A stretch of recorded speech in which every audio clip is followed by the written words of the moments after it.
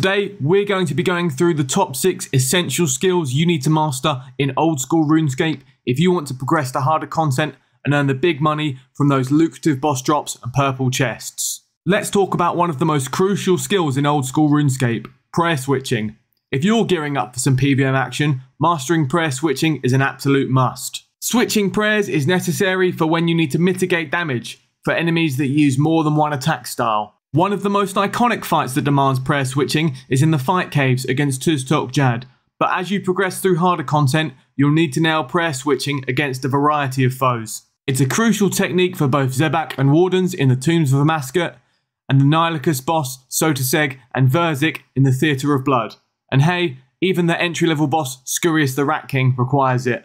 If you're new to prayer switching, Scurrius is the perfect encounter to cut your teeth on. During one of his phases, you'll need to swiftly switch between mage and range prayers depending on the projectile he uses. You have until the projectile hits you to make the switch. This gives you a bit more breathing room compared to some of the older content where you often need to have the correct prayer up before the projectile is even in the air. Next up on our list is the tick system. So imagine the tick system is like the heartbeat of the game. It's the rhythm everything moves to from swinging your sword to casting spells. Each tick is 0.6 seconds. Now, why does this matter? Think of it like this. Every time you swing your weapon, shoot an arrow, or cast a spell, it takes a certain number of ticks to do it. Weapons like daggers have a 4 tick attack speed equal to 1 attack every 2.4 seconds, and weapons like two handed swords have an attack speed of 7 ticks or 4.2 seconds.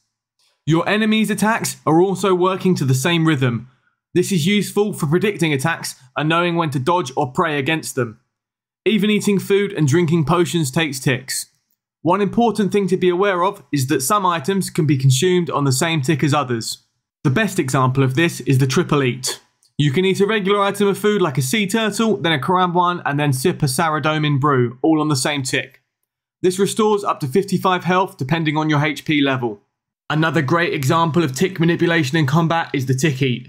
If you eat on the tick you would have taken lethal damage, you'll be left standing with your HP at the healing value of whatever food you consumed. This is really useful for tanking big hits, like Sotetseg's Death Ball in the Theatre of Blood or Vorkath's Fireball. Let's delve into another vital skill for combat, gear and weapon switching. Whether you're swapping out between phases during Zulrah, Akkha and the Nylocas room, or between mini-bosses like Dagannoth Kings, it's another crucial skill to master. Bosses often switch between different attack styles or prayers, requiring you to adapt your gear and weapons on the fly. For example, bosses like Akkha in Tombs of Amascut and the Kalphite Queen will tell you what they are weak against with the protection prayer icons visible above their character model. In other situations, it can be a bit more subtle. In the Nylocas room, for example, the Nylos are weak against whatever attack style they're currently set to. This is visible by their colour. Making these changes mid-fight is the real skill you'll need to master.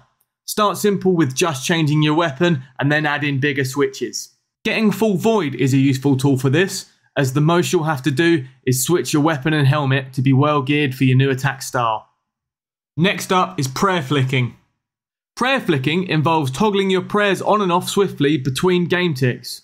By doing so, you exploit the game mechanics. Your prayer appears active to the game, but it never truly depletes. This can be done once between enemy attacks or every game tick, a technique known as the one tick flick.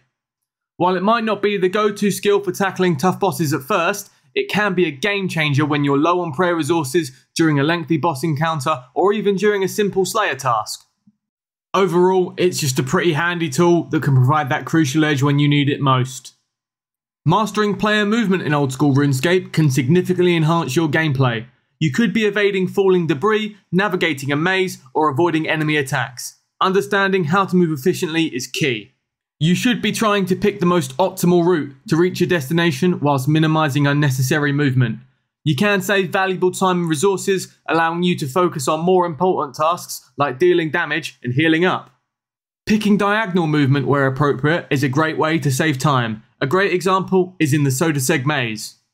Another thing to be aware of is that when you are running, your character moves two tiles instead of one.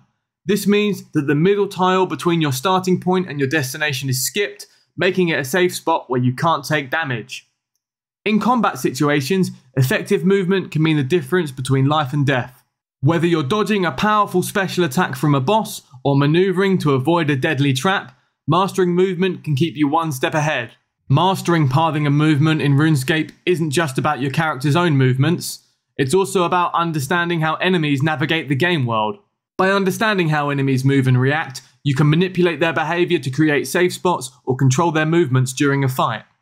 Knowing how your enemy is going to move is a crucial skill in arguably the hardest content in the game, the Inferno. The whole thing relies on you luring the correct monsters to the correct spots efficiently so they can't damage you. A great example of getting enemies stuck is on the Italy rock during the fight caves, where the enemies get stuck on the rock and can be safe spotted. One for kiting is the Akkha butterfly technique, where you keep him moving constantly and he never catches up to you. So, there you go. There are my six techniques you need to master to dominate the bosses in PVM. If you've made it to the end, drop me a like and subscribe. See you next time.